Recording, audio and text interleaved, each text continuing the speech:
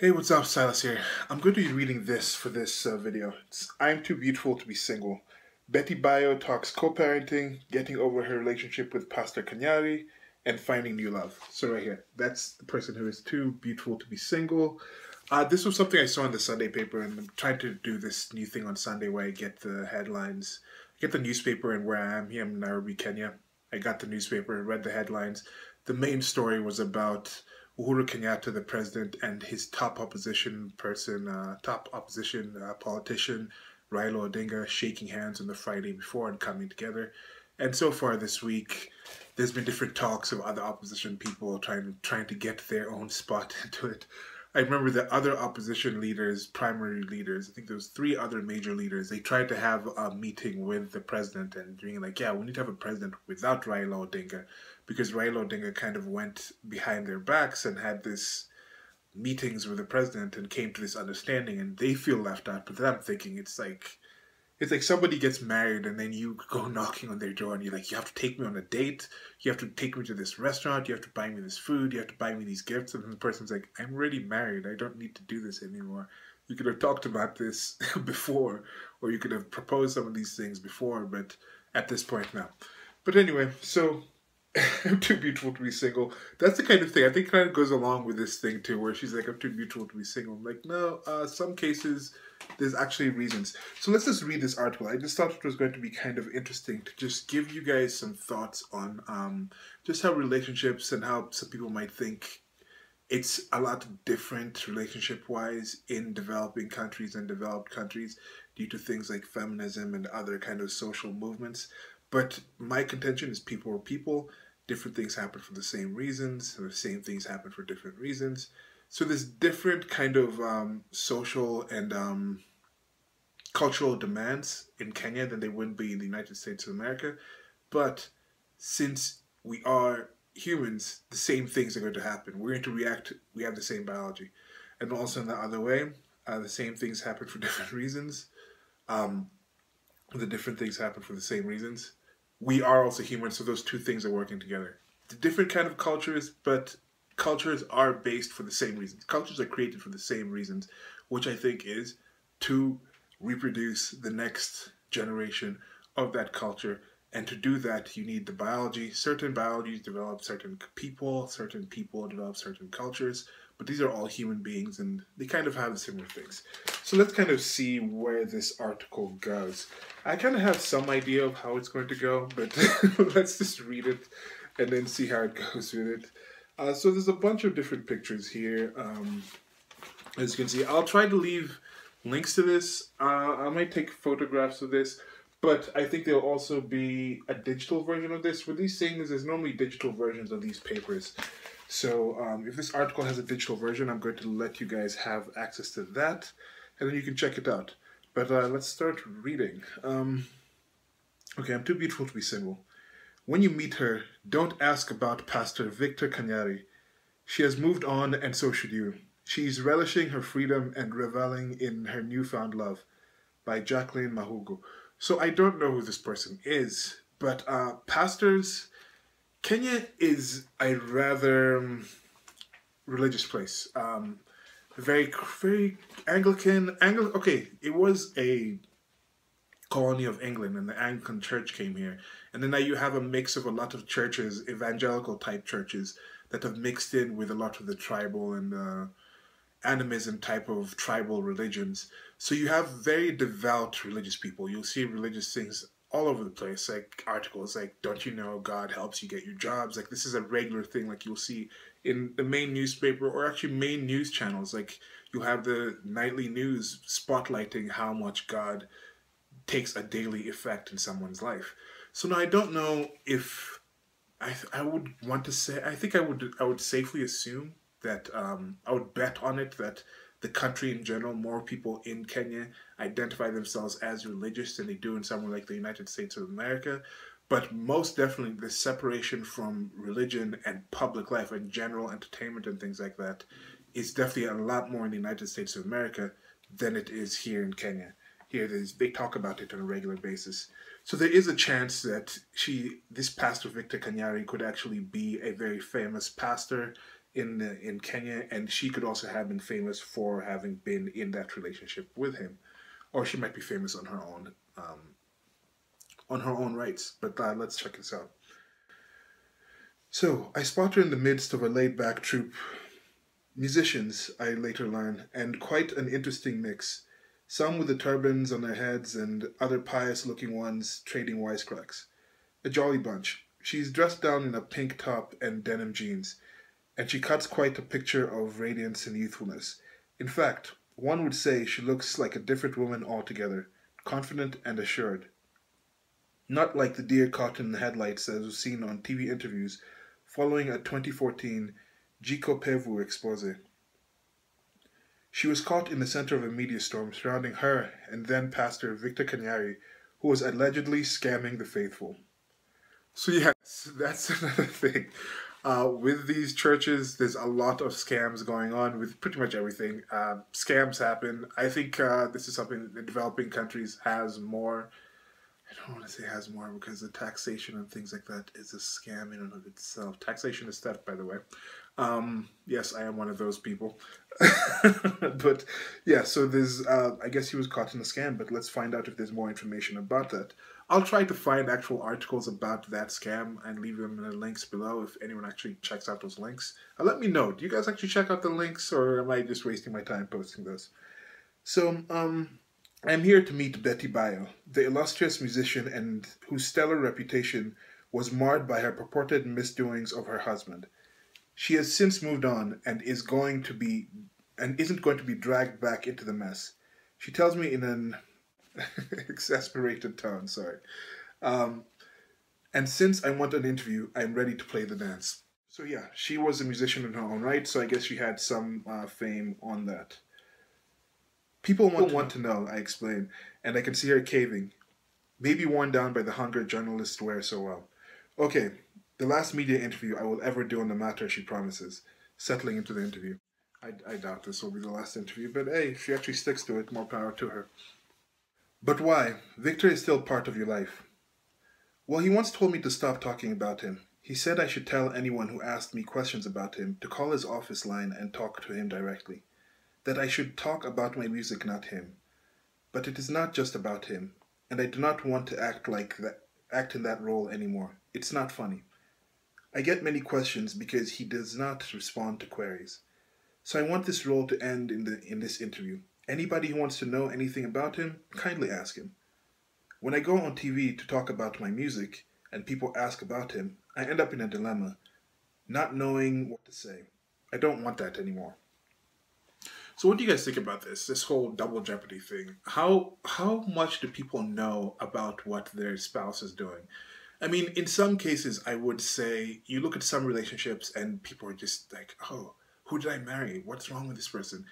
And I must admit that there's some cases where I just wonder, how did you actually get to know this person? What kind of questions and things have you actually talked to this person about?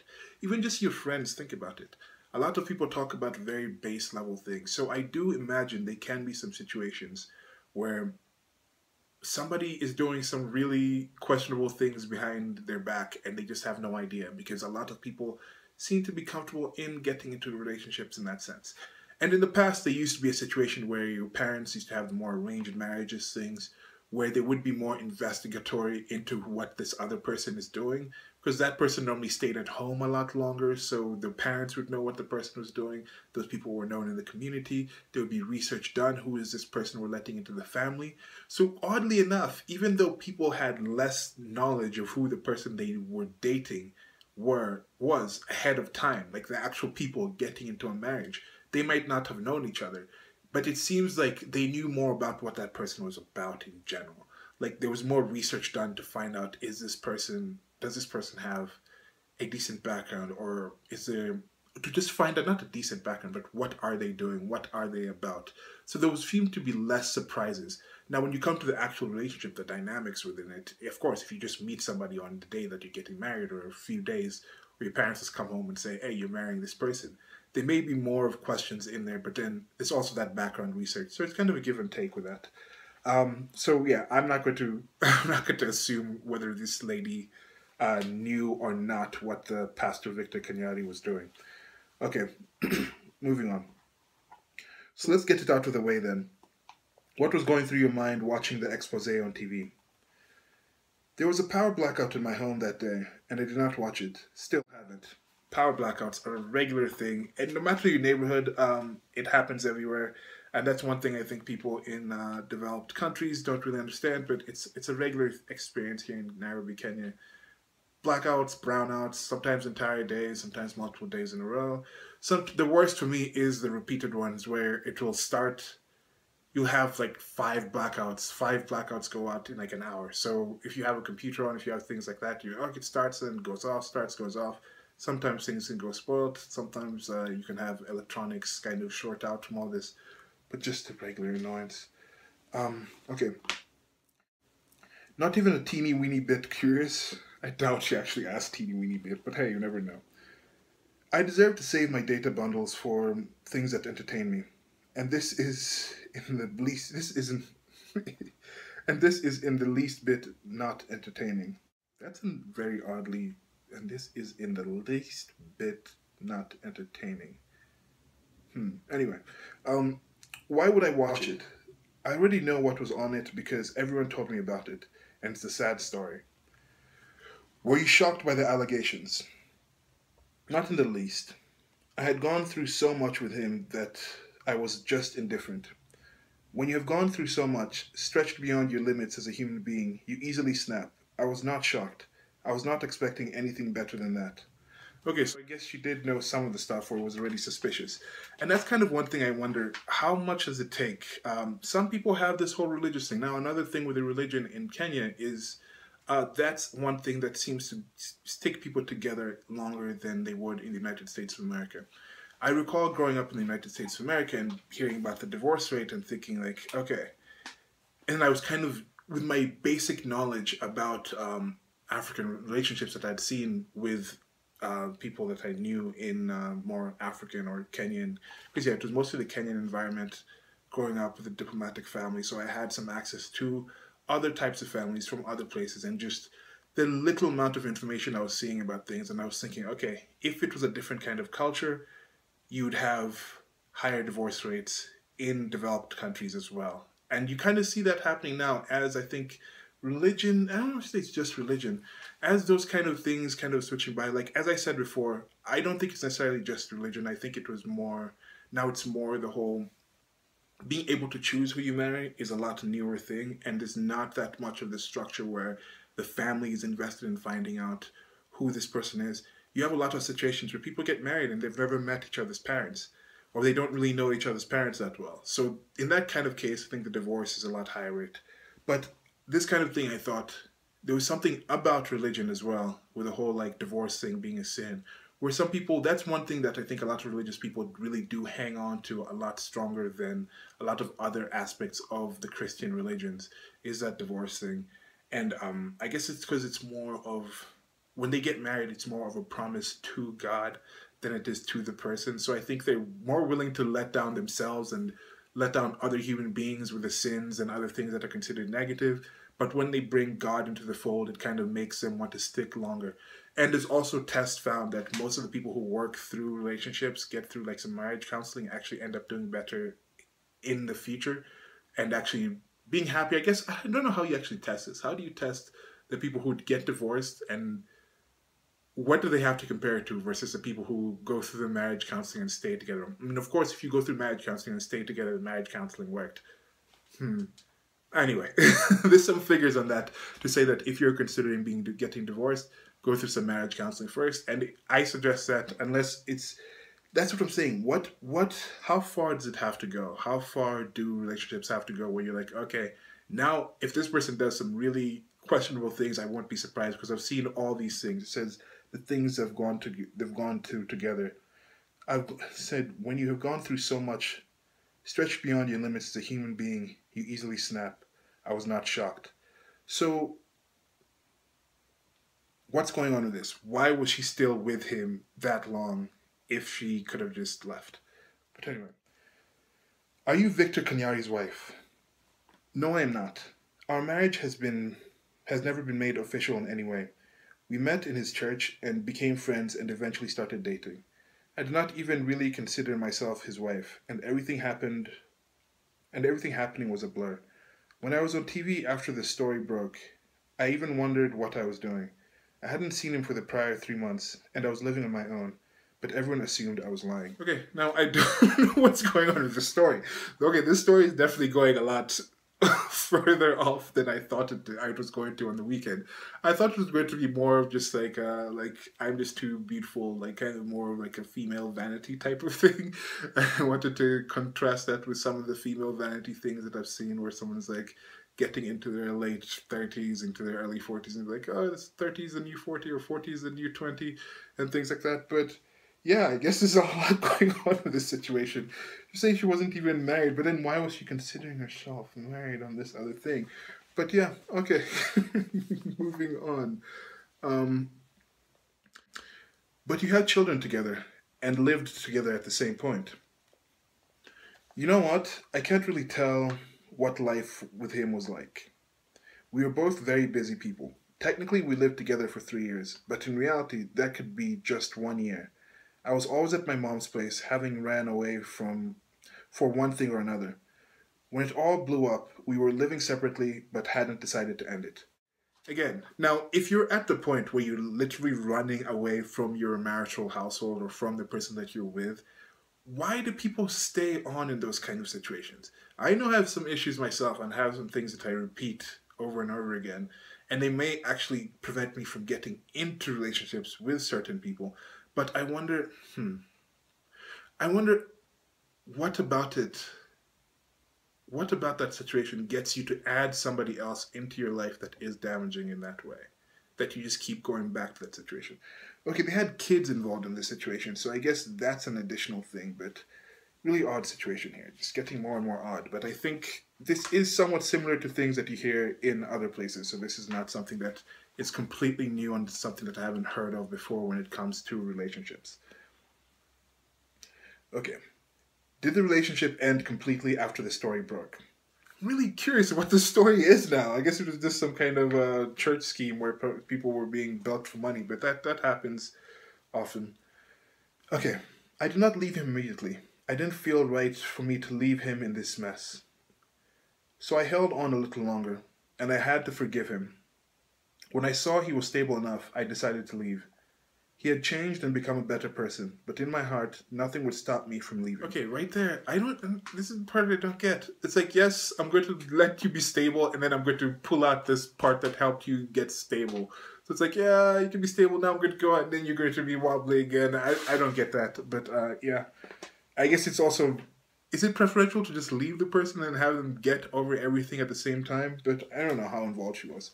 Again, the kids sing because here you go. And you Pat? Yes, we do, but I haven't seen him for the last two years. But our children aged two and five have a good relationship with him.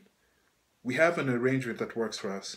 While I have my personal feelings about him and what our relationship was like, his children don't have to know or be affected by that. Now, this is one thing that I am very curious to hear about what you guys think about this whole situation where you stay together for the kids or you try to be like yes the kids don't should know these aspects of our relationship.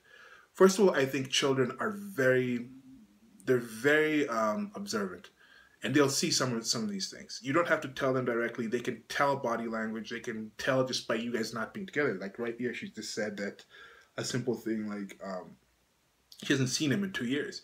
So the, the kids know at some point, especially someone like the five year old, would know that, hey, mommy and daddy have been together, seeing each other somewhat for X number of years, and then now I never see them together. And then daddy may have other people there, she may have other people there. So I guess it comes to a situation of when do you actually tell them? I do get to the point where you do protect them, I think, for a certain age, but it's good to have to come to a point where you actually have that conversation. This whole idea that somebody can be into their teens and you just don't tell them, I don't think that necessarily works. And at the same point, I don't think it's like, okay, rely on your kids for every single thing because they still are children. But this whole idea of thinking you can keep these things completely away from your children, and it's just a situation like if you, this is my question, if you dislike this person enough to not want to be around them, then why would you want your kids to be around that person? Now, I know there could be situations where people can compartmentalize. Somebody can be really good at one thing and then really bad at another thing. Someone can really love one thing and then really not care for another thing, even if that thing was part of why that thing happened. Like someone can really like playing a sport, the actual activity of going out, but they don't like working out to get that sport, to actually get in shape for that sport. So that kind of thing. They don't like the practice part. But anyway, so I do get this that. What do you guys think about that? Uh, have you guys gone through that? Have your parents been in a situation like that? Did they keep it away from you? Did you get to a situation where you saw, where you had your parents go through something like this, and then when the divorce happened, were you surprised, or were you like, oh yeah, I thought saw that coming, or things like that? Or if it happened to you, how have you actually approached this with your children? Um, yeah. If you're willing to share, thanks a lot. If not, um, that's okay as well. Okay, moving on. Are you seeing anyone? Yes, I am, and I'm happy. If it works out or not, I will still be happy. I will still be Betty. I am wise now. I do not cling to relationships.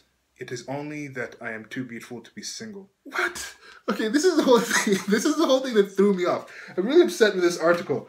like, first of all, she's not even single. Uh, okay, so um, saying I'm too beautiful to be single, she just throws that in here. So I guess there is some. And you guys can check it out. Uh, I'll try to see if you guys can get pictures. Um, do you guys think she's too beautiful to be single? Know. I she's not like unattractive, but uh, yeah. So okay, I guess that, this is a very it's a very misleading article title. But I guess it got me to read it anyway. So uh, here we go. So has your musical career been affected by the drama? People thought that the fiasco would be the end of my career, but my fans never left me. They stood by me throughout the whole ordeal, and I thank them because I emerged stronger. Before the incident, I never used to have I never used to have musicians as friends. But after it after it happened, the music fraternity came together to support me without judging me, and now they are my closest friends. I have been slow to release songs because I have to take care of my child, but I am now in a position to focus more on producing and I'll be releasing music soon. Okay, so uh, this is another thing. I guess just being in an environment, it's kind of good to have people come together and help you out in these situations. I don't really have much to say over this. Take care of my child. Why is she just saying one child, like instead of children?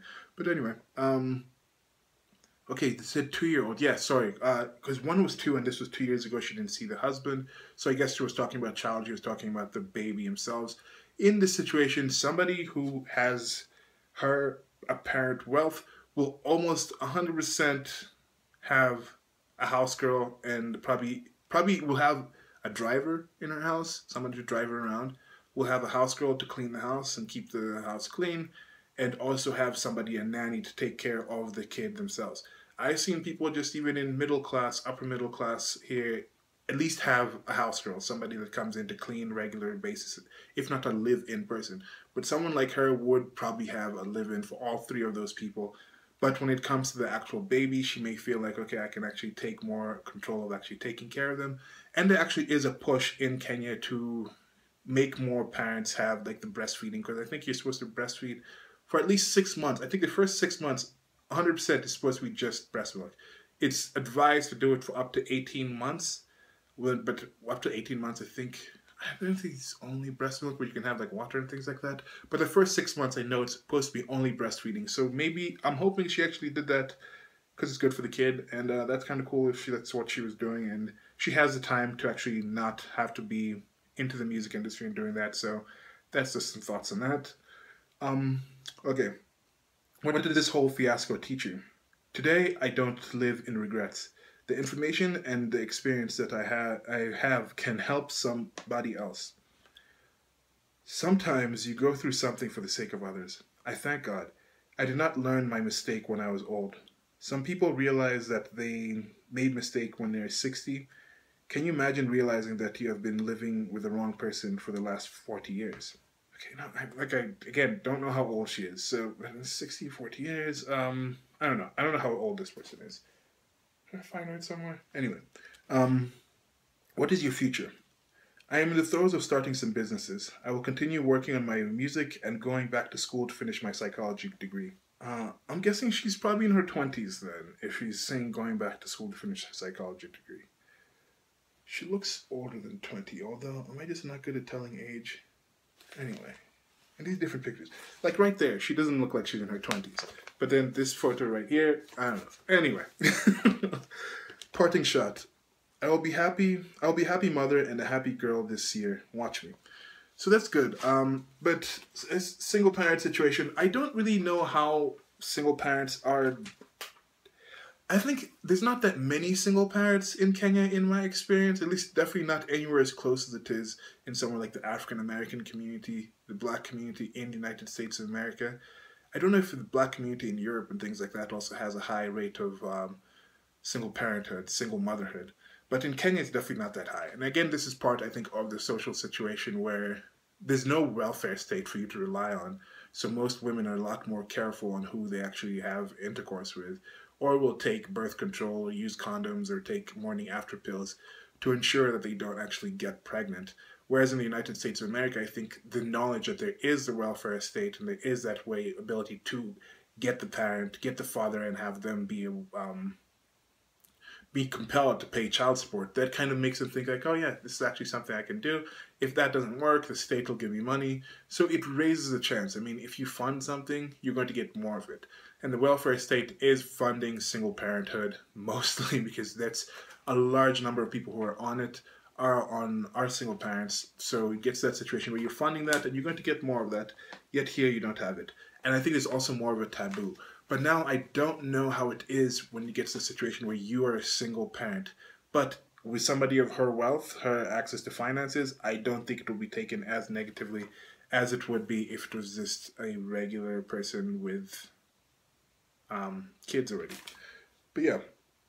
Okay, bios minutiae. So this is something about her, I think. Maybe they're going to tell us the age here. Yes, here we go. Okay, she was born in Banana, Kiambu, but grew up in Olkalau, Olkalou, Olkaloa, Olkalou. Man, I need to get better at these names. Do I need to get better at these? Maybe not. But anyway, Olkalou in Rift Valley. She was the last born of eight children. This is another thing I want to say. Uh, you have this situation where the previous generation already in Africa, in African countries, at least here in Kenya, in my experience, we come from generations like my generation. I'm in my 30s, in my mid 30s right now my generation and below, people are not having these eight, this eight, this seven to ten kid families. Yet our parents' generation, they mostly come from families that were like that.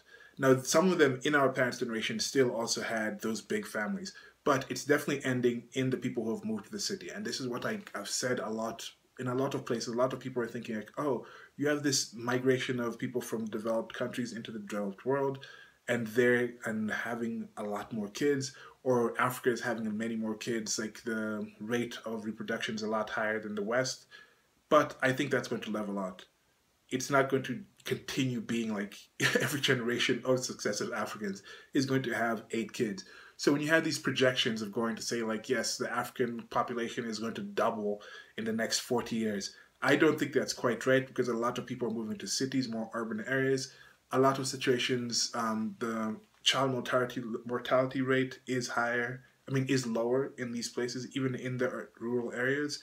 You get into a situation where kids are getting more access to resources, to education, to the ability to prevent to provide resources for their parents when their parents get older. Because you don't have the welfare state again, you don't have social security like that, so you still have the situation where parents kind of rely on their kids in a way to support them when they get older. So you have that kind of situation where the life is changing and you have the situations where you're not going to have that many kids. Like right here, she says, last of eight children, I doubt she's going to build up to eight kids herself. But anyway, growing up in poverty, our greatest struggle was getting food. We would walk 10 kilometers to school and back, and my brother and and my brother and I would sneak into people's farms to eat fruits.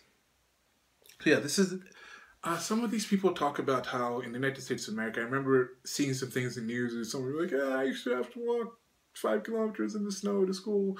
People like, oh, yeah, whatever, whatever. Here, actually, you still have that. You still have people who are actual in politics, politicians, parents of people who are doing really big things, people who are very, who have become celebrities and very high positions in society that did grow up in just abject poverty. That's still a regular thing where you have people who didn't have new clothes. I think the situation is sharing this with my parents where They were talking about how they didn't really have new clothes until they were like eight, nine or something. New shoes, walking around barefoot, actually walking kilometers to school. So there is something, I think, these goes back to the things where I'm talking about. People need to look at Africa in a different sense and understand that some things are, if you're trying to compare how people were living in your country, if you're in the West, if you're in the United States of America, some things about some of the Africans and some of the people you see in developing countries need to be looked at not a generation ago, not in your lifetime, but they need to be looked at like generations ago. They need to be looked at like how was life in your area in the 1900s, not 1900s, but in like I keep mixing up the 1900. Is 1900 like the 1900s, like 19? Did it start in 1901 or did it start in 1801? I think it should be 1901, but it's called the 1900s. Could be wrong. But um, so I'm saying some things in the United States of America, you have to look at what was happening before, like the Great Depression. The Great Depression ages when people were still living in one house and child mortality rate was very high. People were living in such in such conditions that you can't even really imagine those conditions going on in the United States of America for your known lifetime. So it's kind of something to kind of think of when you think of some of these people. Like I don't know, are there any celebrities in the United States of America, musicians who were in that kind of situation? And I think that could explain some of the types of corruption that you see, some of the types of wastage that you see, because people are just familiar with something that they just had no access to before. And yeah, I don't know. Mm, it's a developing country, it's a developing situation. Okay, house help days and generous employer. I went to four high schools because of lack of fees. I eventually gave up and decided to be a house help. When my employer found out that I had dropped out of school, he enrolled me in Riara School for my last year, saving my education, which had almost gone off course. So right here, as we was talking about the house help situation, a lot of people do get in the situation where that's the job that they have to have. And I don't want to call it indentured servitude.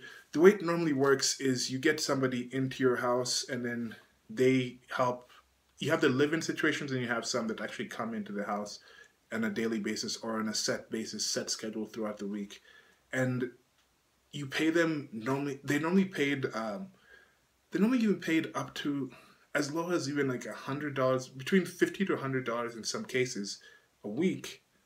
Although, if they're living, they're being supplied for their um, food, their shelter, their electricity, all those needs in some cases, if they have families, you have situations where someone would be like, yes, you can bring in your children to the house, but it's not normally you can bring in the husband as well. The husband will normally live in the slums or in wherever area the husband lives. Sometimes you'll have a situation where they'll have their kids back in the rural areas because it's cheaper. They'll send money back there.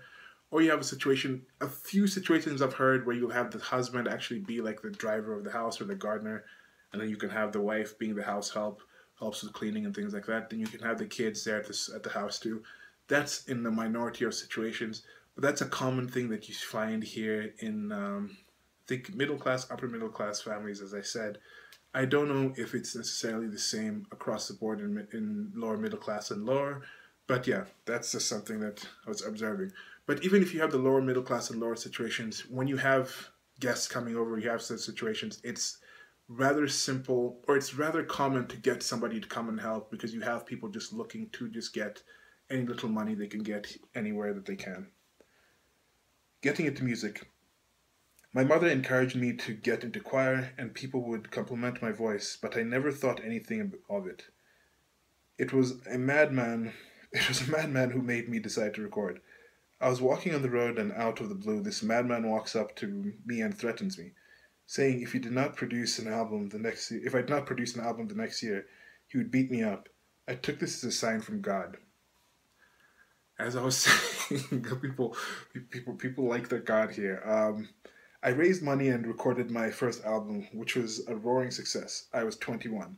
So this is the only time she's actually mentioned her age. So I know she's over 21 and under uh, 60 because she said imagine finding out when you're 60 and being with a person for 40 years and i'm assuming i'm, I'm assuming she's 30 at most but anyway so that's the story about Betty Bayo and um yeah, I don't know. That that went to that went to a different place. I did not expect it to go here. I thought it was going to be uh, more just about female vanity, but I think that's just uh that's more into that's that's that's a patriarchal assumption that I made that I apologize for.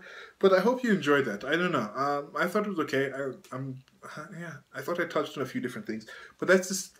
Mm, that's just a sign of one of the articles you read And This is like the Sunday paper the Sunday magazine. So you have these kind of inserts in the magazine that's more like a lifestyle type things. Uh, the next article is on parenting, fatherhood one on one, scamming of dads of Donholm. Um, what's this story about? Overcame temptations. I was a coward. I didn't think had had the guts. Plus, I have the conscience. It bugs me crazy. So you have these things kind of expanding. They're talking about this. Um, bored to death playing you playing your wife I too want to be recognized for something other than having a clean house and happy children. So you have that right there, bored to death playing your wife. Um, so this is kind of situation where women are like, okay, I want to do more than just be a wife. Uh, I don't think just being a wife is a bad thing. At least, what do you define as being a wife? If you're taking care of the household chores, if you're doing things like that, raising children, I guess it can be somewhat less fulfilling than some things. At least some people think, but again, when it comes to relationships, I think the main thing with marriage is to have kids and to raise kids. Uh, another article, Terror in the Skies. So yeah, this is just a kind of a selection of things that happen here. A nice illustration there. Man of the Death Wish. Um, stem cell therapy will help my baby lead a normal life. So you still have that coming here as well. That's an interesting article. What I believe. I'm holding these things. This is a new kind of thing I'm trying here. But anyway, uh, what I believe. Some choose their faith. Others are born into it. What do you believe in? Three people share the reasons they subscribe to faith. Uh, this might be an interesting one to go over to as well. But um, yeah, let me know what you guys think about this. If it's just this whole like article reading thing, maybe it might be better for me to actually read the articles ahead of time so I can actually have a better idea of what I'll be presenting. But um, yeah, so that's this magazine. There's some other articles here. I think I'll actually read one of these articles, but I just thought it was kind of interesting to kind of go through that and kind of see what's uh, being talked about. As you can see right here, this one is about depression. Depression, spot the signs and save a life. And there was this thing I've been talking about how I think uh, depression and things like that seem to be higher occurrence in developed countries than developing ones. And that's, I think, mostly because of the I don't want to say unnatural things that we deal with, but the extra mental stresses that you have living in a more civilized place. Whereas if you're just living more closer to the land, you're just a farmer and things. Man, Just a farmer. Just a farmer sounds like very. Um, I don't know. Um, I don't know Maslow's hierarchy of needs, but I think there's this kind of situation where the more things you have, the more you can miss, the more things that you can worry about if you have very little, then you have very few things to worry about. You might have stress a lot, a lot of stress in just figuring how I'm going to eat the next day, but it's more of a known factor. Whereas if you're living in a civilized country, and you have all these other things to deal with, these other stresses in your life, these other people to compare your lifestyle to, and be like, okay, I can lose all this much and plummet to this lower level, then you can find yourself more depressed with things that some other people may actually find to be a joy to have and that goes back to this whole thing where I'm also wondering with people are saying, okay, uh, this article in here where it's like on board of being a housewife. People might, I think you see a lot of situations where females in general in the West are like, ah, oh, let's join the job market, let's get out there and be like men, and then they're getting out there and like, okay, this is not all it's cracked up to be. You find depression levels are going high.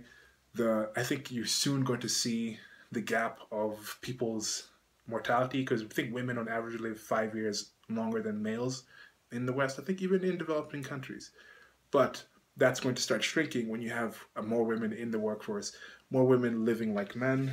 Um, yeah, so I thought it was just kind of interesting to see that there is actually an article here about depression here in um, the United. I mean, sorry, depression here in Kenya because you have this thing where I think someone is talking about how in the black community, I saw this thing in black community, depression is not really discussed as much as it is in the white country. So that's another thing I'm wondering is it more that depression doesn't happen as much here, or is it not diagnosed as much as it is in the United States of America? But yeah, so that's it for now. Like, share, and subscribe. Um, links below to the merchandise store. I'm going to read this separate article on religion because I think that's a good point. And there's one title here Men are born with a disease in their hearts, and I shouldn't provoke it. It's a short one. I'm going to read that. It's going to be a separate video. But yeah, goodbye.